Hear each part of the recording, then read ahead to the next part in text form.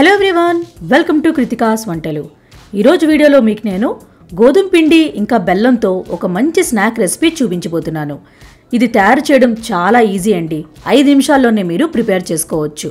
పిల్లలైతే చాలా ఇష్టపడి తింటారు. అలాగే మీరు టిఫిన్ బాక్స్లో కూడా పెట్టచ్చు. హెల్దీ కూడా ఎందుకంటే గోధుమ పిండి ఇంకా బెల్లంతో చేస్తున్నాం కదా. సో ఇంకెందుకు లేట్ అండి? వీడియోలోకి వెళ్ళి చూసేద్దామా? పదండి.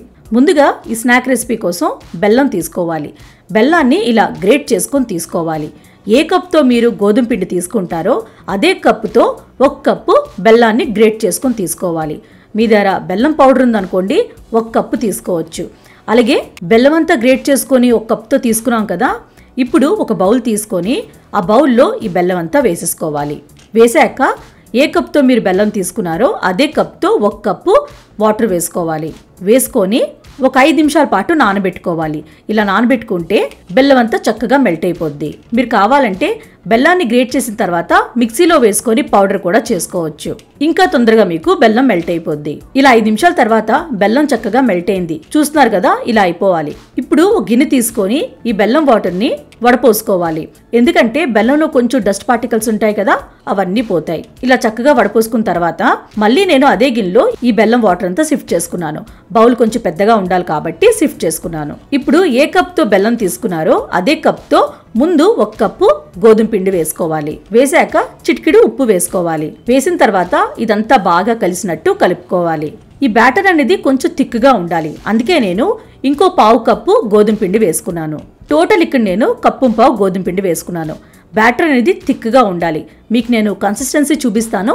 దాన్ని బట్టి మీరు పిండి వేసుకోవచ్చు. మీరు కొంచెం స్వీట్ ఎక్కువ లైక్ చేసుకుంటే బెల్లం కూడా కప్పు పావు తీసుకోవచ్చు. మీరు చూస్తున్నారు కదా కన్సిస్టెన్సీ ఇలా ఉండాలి థిక్గా ఉండాలి. అప్పుడే ఇది పర్ఫెక్ట్గా వస్తుంది.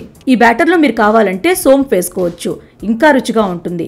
నా దగ్గర లేదు అందుకే నేను వేసుకోలేదు మీ దగ్గర ఉంటే వేసుకోండి. అలాగే ఒక హాఫ్ టీ స్పూన్ యాలకల పౌడర్ వేసుకోండి. ఆ క్లిప్ మిస్ అయింది అందుకే నేను మీకు చూపించలేకపోతున్నాను. మీరు హాఫ్ టీ స్పూన్ యాలకల పౌడర్ వేసుకోండి. వేసుకొని బాగా కలుపుకోవాలి. ఇప్పుడు పావు టీ స్పూన్ అంతా బేకింగ్ పౌడర్ వేసుకోండి. వంట సోడా ఉన్నా కూడా పావు టీ స్పూన్ వేసుకోవచ్చు. వేసుకొని చక్కగా ఈ పౌడర్ అంతా ఈ బ్యాటర్లో బాగా కలిసినట్టు కలుపుకోవాలి. చూస్తున్నారు కదా వీడియోలో బ్యాటర్ ఇలా తిక్కగా ఉండాలి. ఈ బ్యాటర్ రెడీ అయిపోయింది కదా? ఇప్పుడు ఒక కడాయి తీసుకొని స్టవ్ ఆన్ చేసుకొని డీప్ ఫ్రై చేసినంత ఆయిల్ వేసుకోవాలి.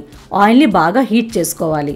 ఆయిల్ బాగా హీట్ అయ్యాక ఫ్లేమ్ని మీడియంలో ఉంచుకొని పిండి తీసుకొని ఇలా బోండాల్లాగా వేసుకోవాలి. చిన్న చిన్నవి వేసుకోండి. ఎందుకంటే అవి పొంగి కొంచెం పెద్దగా అవుతాయి. నేను ఇక్కడ మీడియం సైజులోనే వేసుకున్నాను. మీరు కావాలంటే చిన్న చిన్నవి కూడా వేసుకోవచ్చు. మీడియం ఫ్లేమ్లో పెట్టుకొని మీ కడాయికి ఎన్ని పడతాయో అన్ని వేసుకోవాలి. వేసిన వెంటనే గట్టి పెట్టి తిప్పకండి. ఒక ఇరవై ముప్పై సెకండ్స్ తర్వాత ఇవి ఇటు అటు టర్న్ చేసుకొని గోల్డెన్ బ్రౌన్ కలర్ వచ్చిన వరకు దీన్ని ఫ్రై చేసుకోవాలి. చూస్తున్నారు కదా వీడియోలో ఇవి ఎంత చక్కగా పొంగాయో? మీరు హై ఫ్లేమ్లో ఫ్రై చేసుకున్నారా? పైన కలర్ వస్తుంది కానీ లోపల కుక్ అవ్వదు అందుకే మీడియం ఫ్లేమ్లో గోల్డెన్ బ్రౌన్ కలర్ వచ్చిన వరకు ఫ్రై చేసుకోవాలి.